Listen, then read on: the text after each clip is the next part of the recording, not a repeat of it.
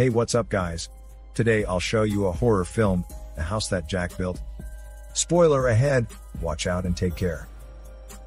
The movie begins with a horrifying confession and conversation between an architect named Jack and an unseen man known as Verge.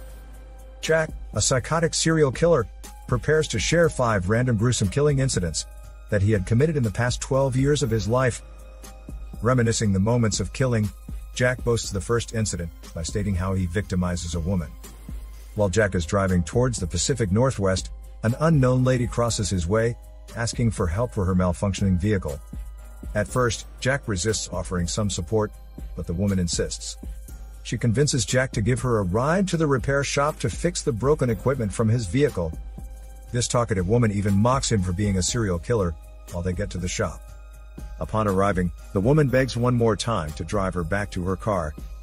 Jack begins to lose his patience, immediately grabs the broken jack and strikes it at the woman's face. Based on Jack's actions, we can infer that he has an obsessive compulsive disorder, leading to repetitive murders and killings. He believes that there is a hidden artwork for any murder. As he stresses, the old cathedrals often have sublime artworks hidden away in the darkest corners for only God to see. The same goes for murder. Then, he also shares how he dreams of being an architect and how he purchased a building lot before the incident of killing the lady. Right after murdering the lady, she then places the corpse in an industrial freezer, a room that is filled with dead bodies. As we can notice, the scene shows a random man playing the piano, which depicts the belief of Jack that the repetitive murders he is doing are considered art and purposeful. Afterward, he continues sharing his autobiography, and this opens the second incident. At the beginning of the second story, Jack deceives an older woman named Claire that he is an insurance agent. He fabricates details of being a police officer and an insurance representative that could potentially increase the pension. Though the older woman is hesitant and suspicious, Jack captures her heart and convinces her with such lies. He then attempts to enter the woman's house and execute the plan. Without a doubt, the woman permits him to enter her house only if he will double her pension. In just a blink of an eye, he quickly attacks her inside and strangles her to death. But Claire appears to be still breathing and alive after the first instance of choking. He feels apologetic and even offers some chamomile juice to the older woman. But his OCD behavior shifts again, and he finally ends her life by stabbing the woman's chest. Later, he places the woman in a chair and takes photos before packing them in the van. He cleans every hint of killings by wiping all the bloodstains on the floor and walls and arranging the things in place. The atmosphere gets intense when Jack hears the siren of the police's car. He speedily clears everything and makes sure that this man will not figure out the said murder. He puts the corpse away from the vehicle, anticipating that the police officer will check his car. The said officer arrives at the scene with no marks of crime in the location. He then investigates Jack's vehicle to see if there are any bodies left in the car. But Jack expects this to happen, so he places the corpse secretly and saves himself from being the primary suspect. To avoid being accused of the said event, he misleads the investigation by providing false information and observations. The officer stops him and suggests he leaves the place since none is part of his business. Suddenly, the serial killer ties Claire's dead body face down to the back of his van while the police officer is searching for something. He rapidly drives back to his house and stores the dead body in his industrial freezer. He even worries about the bloodstains on the road, but celebrates when the rain pours out from the sky. In this scene, we can discover how rain becomes a blessing and an escaping element for Jack after washing the clues of the murder on the road. The drop of water erases the trail of blood found in the road, eliminating the possibilities of being caught. He emphasizes how he sees killing as liberation for him and the pleasure of destruction. The next day, Jack strangles another lady and hits an older woman because he is not satisfied with the previous photos. He believes that his OCD diminishes every time blood drops from killing. An obsession arises in taking photos of the remains of his victim and labels himself as Mr. Sophistication. The third incident occurs when Jack dates a single parent with two kids. They go on a picnic trip out to a field and do some hunting.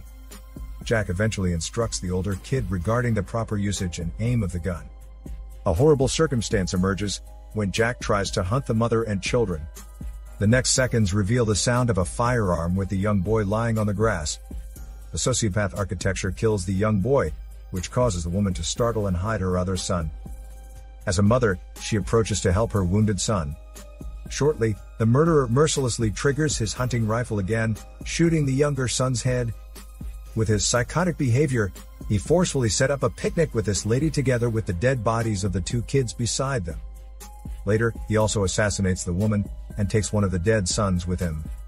He brings the young boy's corpse and remodels it like a mannequin that is smiling and waving.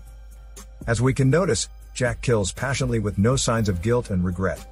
The scenario puts Jack to the test when meeting a single parent, which offers him hope for love from a family.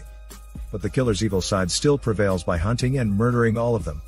This only concludes how irredeemable Jack is, and how he lacks love in all ways. Following the death of the family is the existence of Jack's fourth killing incident. In this story, he highlights how a naive lady entirely captivates his heart.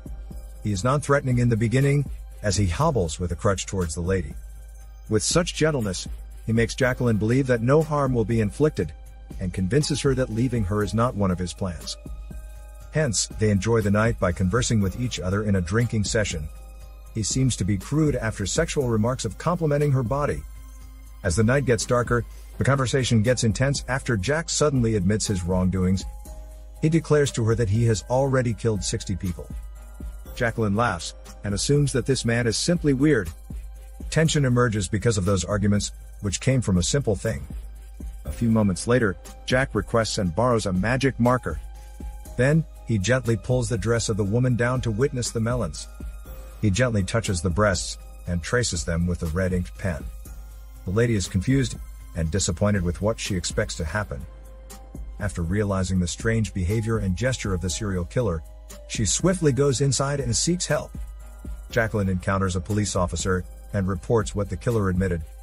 But the police officer does not believe her for being drunk. Consequently, the sociopath architect follows and interrupts the said conversation. He declares that he killed 60 people, and that he is a terrible human being. Unfortunately, the police officer leaves, considering that all the information said was just an outcome of their drunkenness. The changing behavior of Jack radiates again, crying and asking for forgiveness from Jacqueline. He begs and pretends to regret all the killings he intentionally does. While he falls asleep from being drunk, Jacqueline strives to find pills to help him. She then sees the moment as an opportunity to escape. Unlucky as she is, the door is locked, and Jack is now awake, standing right in front of her. She concludes that Jack is the Mr. Sophistication in the news, and shouts for rescue. We can surmise how Jack reflects on himself as being a killer. To kill is to satisfy himself, Contemplating the areas of his actions, he emphasizes why the male always appears to be criminals of all time. And why do men seem to be figures of failure, while women are always victims? She screams as loud as she can, but only receives a deafening silence. Thereafter, Jack yields meaning to his fourth killing.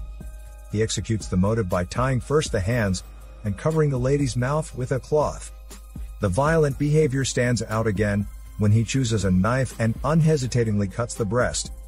He creates a coin purse made from the breast skin and leaves the other one to the police officer's windshield. With these three incidents, Verge notices a pattern and starts questioning how Jack views women as the common element of his murder. Based on the character's actions, we can infer how Mr. Sophistication believes in a theory that women are more recessive and more cooperative whenever he intends to kill them. That is why the randomly chosen events are mostly women, which indeed invokes pride and superiority for himself. We can also agree that the said killer is manipulative and misogynistic for his maltreatment and brutal killings towards women. Lastly, the fifth incident of brutal killing unfolds when Jack selects a random man. As part of rectifying his anxiety with murder, he forcefully chooses and detains random guys for an experiment from the past. He ties these men and lines their heads up in a row, his definition of satisfaction is to kill these people with just one bullet as glorification. However, only one shot is powerful enough to make this possible, and this bullet is a full metal jacket round bullet. Jack tries to search for this type of bullet from the store, but the seller denies it because of illegal use.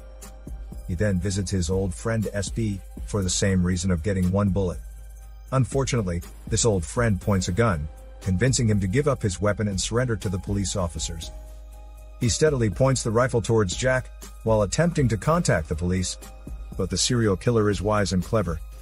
He tricks this old friend, using their memories and friendships from yesterday. He convinces him to stop pointing and threatening him.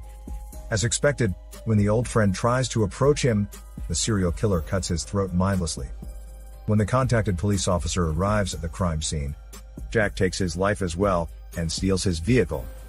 Next, he rushes to his freezer to continue the unfinished business and unfulfilled satisfaction.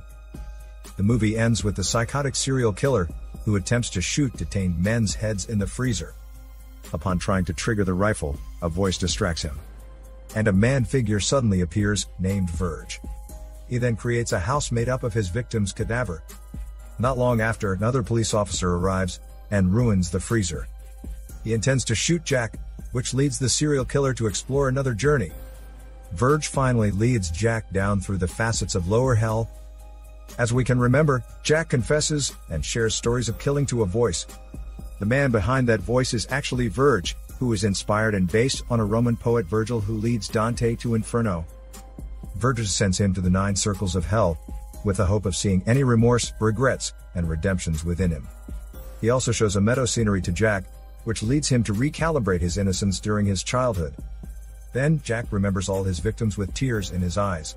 But is it a sign of regret or pride? They reach the deepest and farthest part of hell as he seeks a glimpse of redemption. They finally cross a broken bridge that leads to either heaven or hell. He then attempts to climb up the stairway to heaven, but eventually falls. As irredeemable as he is, he fails because he refuses to understand his wrongdoings and only perceives them as artistic expressions. Jack slips and eventually resides in the lake of eternal suffering. Metaphorically speaking, Verge's presence serves as the conscience of the psychotic serial killer. He is the guiding voice who strives to save the hopeless soul and heart of Jack. There are times when Verge scrutinizes him for his actions, so that by the time Jack crosses the bridge, he will realize and carry his redeeming factor. The psychological horror film effectively orchestrates and depicts the theme of misogyny, narcissistic and OCD behavior, gruesome killings, and self-awareness. Oblivion and lack of moral justifications take a major spot in the completion of the said masterpiece by Lars von Trier, known as The House That Jack Built. This is Daniel CC Movie Channel. Peace out.